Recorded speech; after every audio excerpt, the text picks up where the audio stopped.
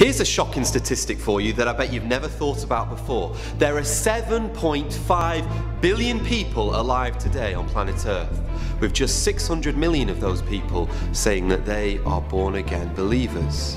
Now, suppose those numbers are correct. That means that 8% of the world's population are going to heaven. But let's reverse that. That means 92% of them are going to hell. Does that bother you? I want you to imagine that you work in a 30 story tower block and one day there's a fire and everyone at the top of the building realizes there's a fire and they start bolting for the doors. And here you are, you're running down the fire exit, you're running as fast as you can to get away from the fire. As you run down the stairs, you pass a, a blind man, dull of all of his senses, deaf, blind, he can't hear, he can't smell. And he's walking up the stairs with his sticks. But because you're so focused on getting out, getting out of the building, you run straight past him and you don't warn him. What is the first thing that that man is going to cry out when he gets to the top of that building? What will he scream at the top of his voice? Why didn't someone warn me of these flames? Why didn't someone protect me from this danger ahead? And dear friends, I believe there will be millions, billions of souls which will scream your very name and cry out, Why didn't you warn me of these flames? Why didn't you cry out to me and warn me that there is a real hell, a real judgment, a real devil who wants to snatch as many souls down to this lake of fire? But there's also a real Saviour, the Lord Jesus Christ, who hung on a cross, who loved sinners, who wept and died on a cross for the sins of the world. Hell is a place of gloomy darkness a place where billions will be weeping, crying, wailing, and grinding their teeth. It is a place of unquenchable fire. There is a lake of fire which forever burns. And do you know what the fuel is for that fire? Christless souls, those who've rejected the Lord Jesus Christ and refused to repent of their sins. It is a place where the worm will not die, a place which is made for Satan and his angels. It was made for the punishment of eternal beings. Just dwell on that, think on that and yet there will be human souls who will be banished there forevermore. A hundred years will go by, they'll still be there. A thousand years will go by, they will still be there. A million, a billion years, time will forevermore vanquish, and these souls will be falling in this everlasting pit of darkness. But it's okay, don't worry, you're safe. You know the Lord Jesus. You, you, don't need to panic. So you can turn off this video. You can go back to your favorite Netflix series. You can eat your favorite Ben and Jerry's ice cream. Put your feet up on the couch. Don't worry. You're safe. You're going to heaven. No need to panic. You might think I'm joking, but there is very few things which frustrate me. There are very few things which disturb me than to go to church and see Christian after Christian nodding their head when the preacher's preaching about the Great Commission, nodding their head as they, they read through the book of Acts, going to missionary meetings, learning about missionaries, going to Peru, sacrificing their lives, hearing about all of these different Christians, and yet they have a great time. They, they go on trips out. They, they go on walks together. They have wonderful fellowship as Christians. And yet, the Titanic keeps sinking. The souls keep falling. The queue keeps getting shorter and shorter.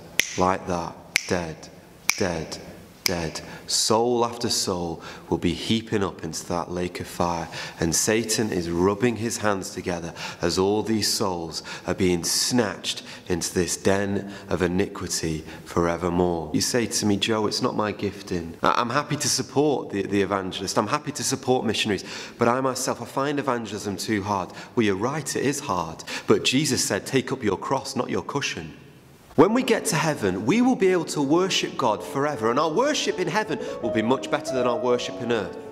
When we get to heaven, we will be able to have fellowship with brothers and sisters in Christ forever, for all of eternity, and our fellowship in heaven will be much better than our fellowship down on earth below.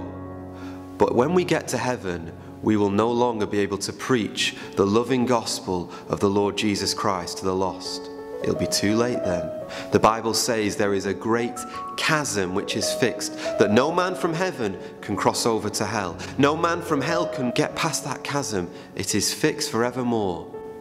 And I'm pleading with you today care about those people. Look, if I've not offended you already, swallow this one. You, Mr. Christian, you, Mrs. Christian, if you are not sharing the gospel with unbelievers, you are a disobedient believer. Jesus said, Go out into all the world and preach the gospel to every creature. Go out and make disciples of all nations. That's what the Lord Jesus Christ said. So, how long will you continue to disobey his commands? How long will you continue to go your own way and choose your own comfort and ease over the one who died for sinners, the one who sacrificed everything? You might look at yourself and you might think, I'm sacrificing a lot. But it's nothing compared to what the Lord Jesus Christ sacrificed when He took the darkness of your sin at Calvary and absorbed the wrath of God to turn it away to be the propitiation for our sins. Hey, now, so the question you should all be asking yourselves right now is what can I do about it? You're right, the Titanic is sinking, and I don't want to be rearranging the furniture on a sinking Titanic. I don't want to be squabbling with Christians about pathetic things when the lost are going to hell. What can I do about it? Well, on average, the videos that I put out on this channel get about a thousand views. That's 1,000 people who could be watching this video right now. And imagine if each person just decided, I want to reach just one person a week. I want to share the gospel with just one unbeliever a week. That's 52 a year. And if a thousand people do that, that's 52,000 people who could be reached this year with the gospel, who could receive a gospel seed planted into their hearts. And who knows what the Holy Spirit can do with that if it falls on fertile ground. So I'm going to ask you now, would you be willing to do it? Will you be willing to share the gospel with an unbeliever once every week? Now, with all that being said, I know that there are people watching this right now who are terribly shy. You get so nervous talking to people, socially, you, you struggle. And for you people, I don't want to discourage you. But perhaps I could gently challenge you to do this. Why not buy a big box full of tracts, full of Christian leaflets with the gospel in it?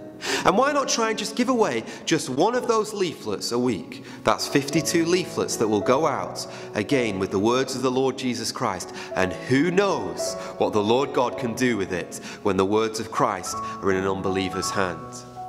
So, guys, remember, hell is filling up. And as Paul said, how will they hear without a preacher?